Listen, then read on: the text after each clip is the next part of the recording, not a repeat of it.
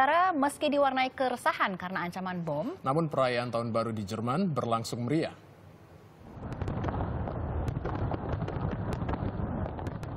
Ratusan ribu orang tumpah ruah di Brandenburg Gate Berlin, Jerman.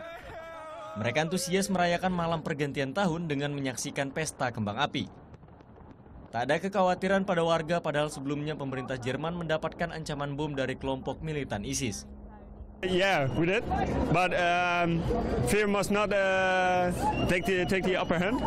So uh, we thought, yeah, we go here, not worry much, and um, there's a lot of uh, police, so uh, yeah, it's safe, I think. Akibat teror ini petugas keamanan menutup dua stasiun utama di Munich. Ähm, Wir haben schon seit äh, langer Zeit eine abstrakte Gefährdungslage.